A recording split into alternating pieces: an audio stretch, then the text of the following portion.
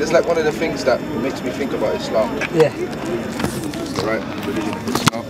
But in terms of in terms of slavery in Islam, Yeah. if you could, because I don't have a lot of knowledge on it. I've Speak. just, I, I've just heard some people speak about this that are talking bad about Islam. Yeah. I saw Muslims speak about it, but Yeah. from you,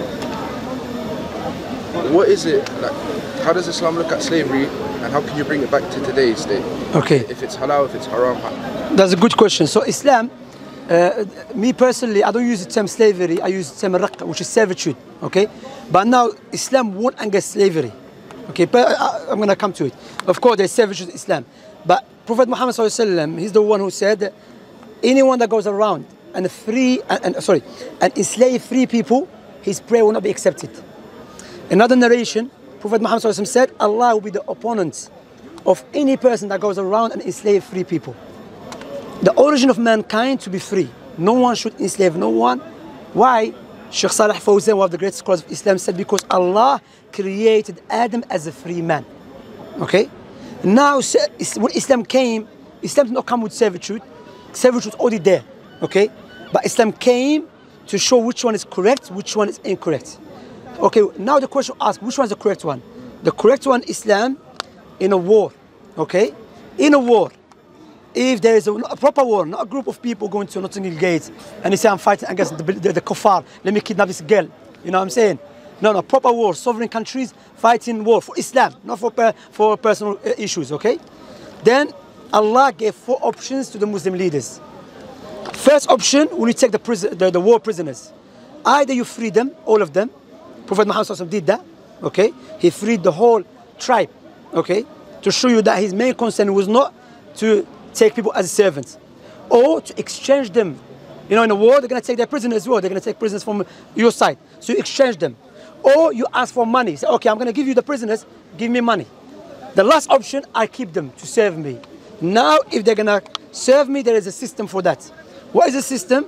You take care of them, treat them the way you treat yourself, feed them with the same food.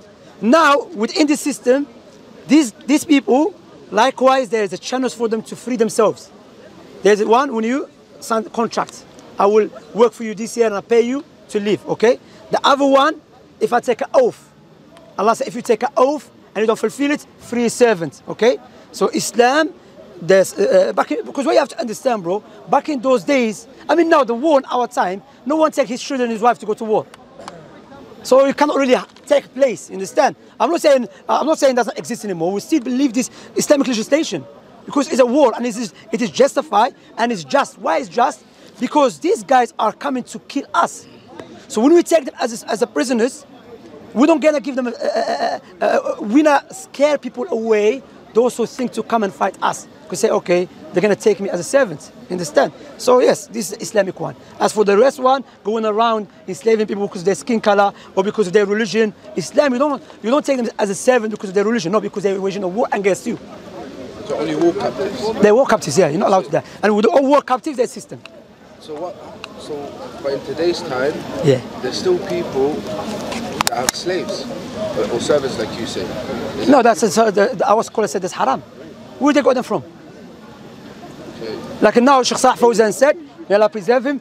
Imagine I kidnap this brother, yeah? And this brother stayed with me. Then imagine his fifth grandson. He's still servant.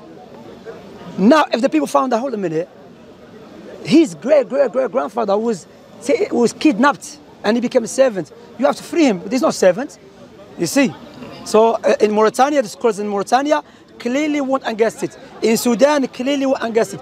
In Khalij, people mixing between a housemaid and a servant. Some people, they juhal, ignorant Muslims, he thinks she's a housemaid, he thinks he's slave. He thinks he's servant. And he said, no, there's no servants. I remember a brother contacted me. He said, you know, in, in Dubai, you know, he said, uh, some people think uh, a housemaid is a servant. I said, no, the servitude that Islam spoke about is in a war. You see? And you treat them and you take care of them. And people say, if she's a female, just have intercourse with her. No.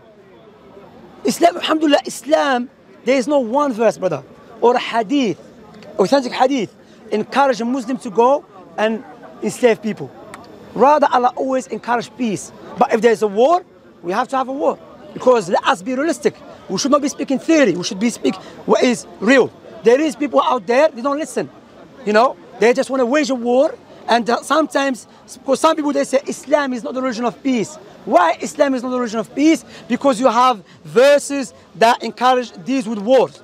That doesn't not negate Islam is not uh, is, uh, that doesn't not invalidate Islam to be the religion of peace. Because sometimes in order to establish peace, you have to wage a war. That's why there's two types of war. There's a praiseworthy war and blameworthy war. The war in the Quran is a praiseworthy war. The war that encourages people to, uh, to establish peace. That's what Allah said, وَلَا تُفْسِدُوا فِي الْأَرْضِ بَعْدَ إِصْلَاحِهَا Do not, do not cause cor- corruption upon the earth after it has been rectified.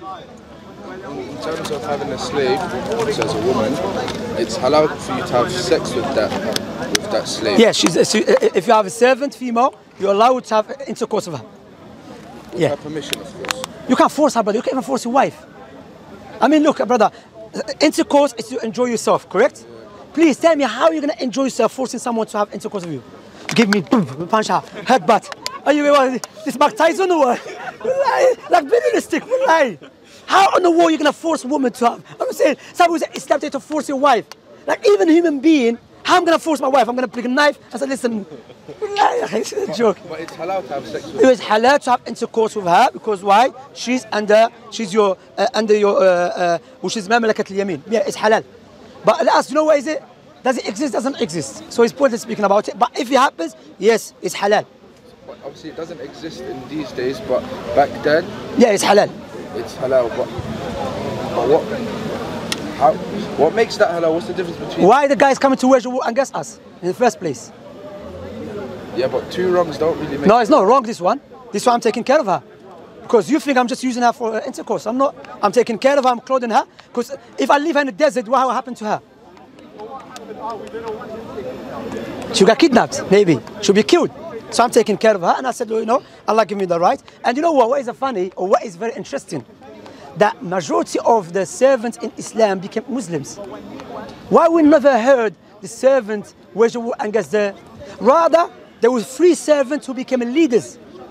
Bilal ibn Abi Rabah was a leader. So we don't don't please try to compare this dirty, disgusting slavery that was done to black people to Islam. Islam has nothing to do with skin color. Islam, the reason there was a servitude, you waging a war. The outcome because you are waging a war against people who submit to God and serve Him.